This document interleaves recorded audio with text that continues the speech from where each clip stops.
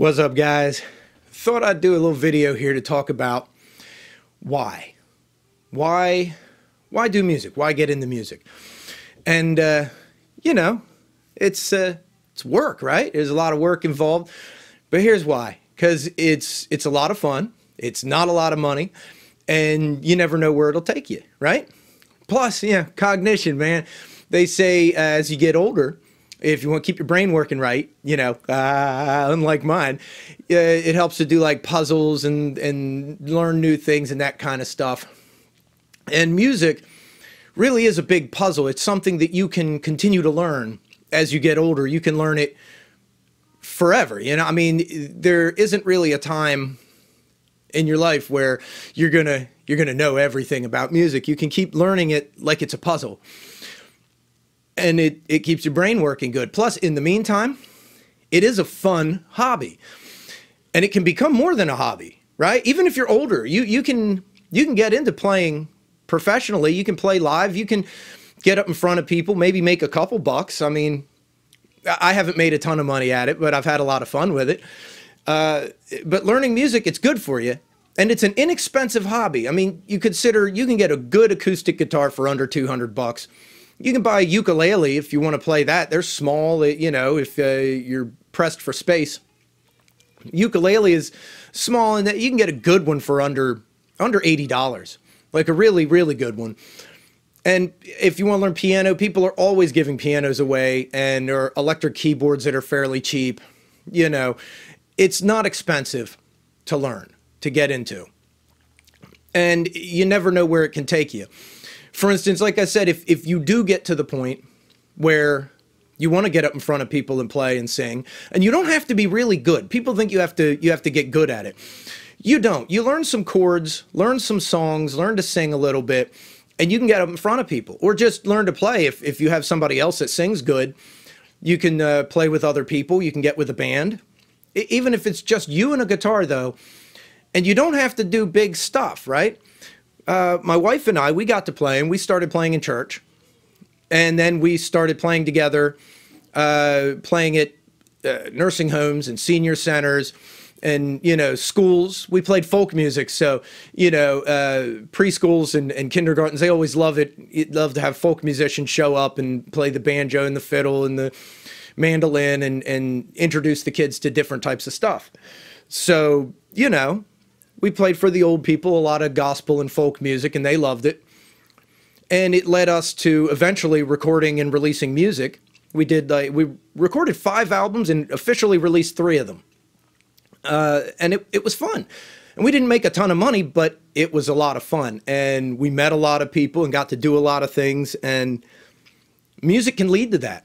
Or it can lead to just you hanging around at home playing guitar and singing songs to yourself. And I did that for years and years, and, and that's always fun, right?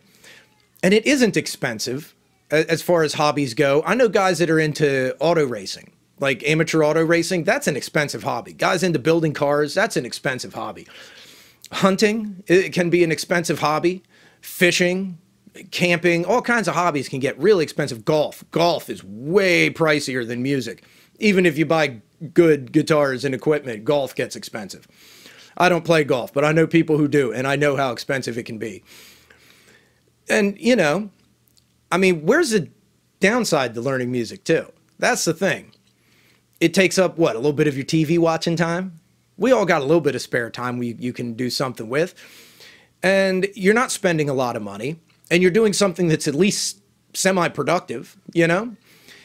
Uh, it's good for you. It's good for the brain. It's good for.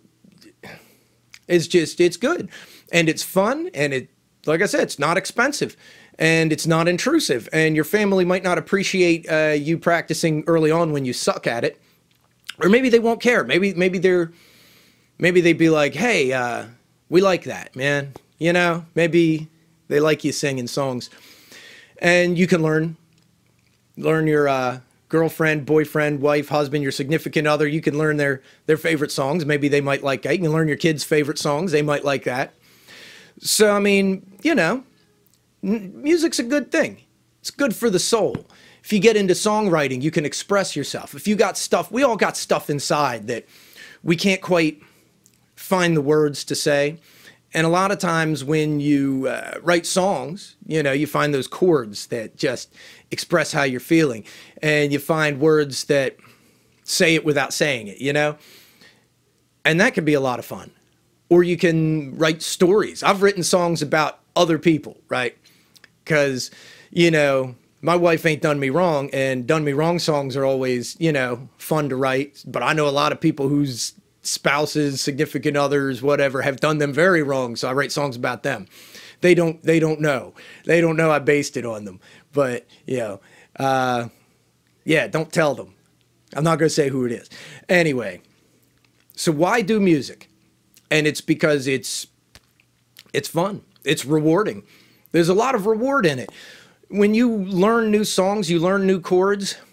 It's very worthwhile. You know, you feel a sense of accomplishment. And I mean, if you eventually want to get into uh, recording, that's not terribly expensive. And you don't have to record stuff with the idea of releasing it or making money on it. You can just record the stuff just to do it. You know, a couple hundred bucks is enough to buy one of those packages that comes with a microphone and interface and headphones.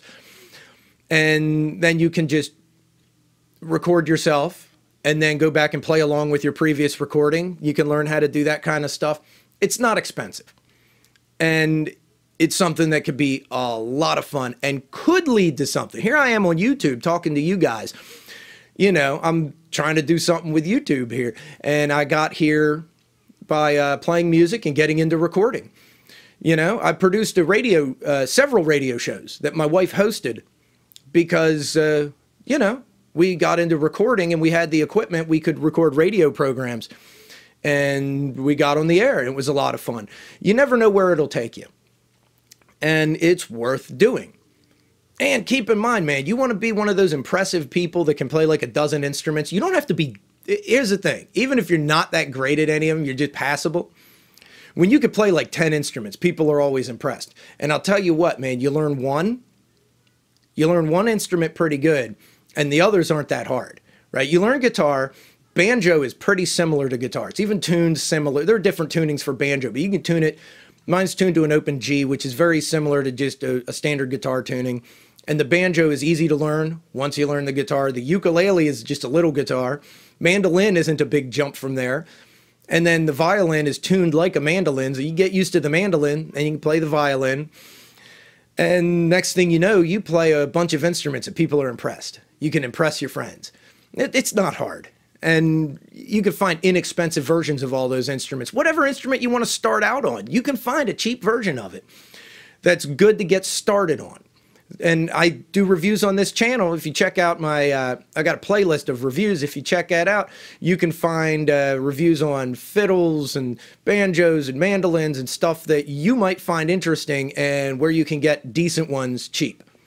You know?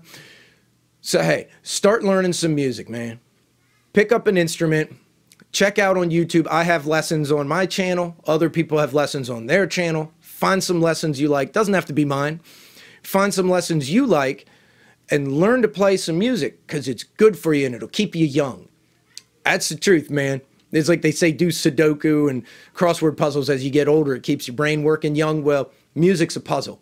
It, it, that's the truth. And you can it's a puzzle you never entirely solve, man. You can learn more the rest of your life. So, hey, guys, just wanted to talk about that. Go out there and rock, man. Or, or play some country or some folk. Get into hip hop. Whatever it is you want to do, man. Learn to play some music. Have some fun with it. The world needs no, more music, and uh, the world needs your music. Right there, you. The world needs your music. I'm not just saying that. If you do record something, you do get into it, man, send send it to me. I'd love to hear you guys. Love to hear what you do. And uh, hey, man, I'll see you in the next video. Hit subscribe. And, you know, for more cool stuff, I'm going to be doing more videos. Check out my playlists. I got reviews. I got lessons. If, if you do want some tutorials on how to play, I got some I did like, you know, a little while ago. So peace out. Love you guys. Bye bye.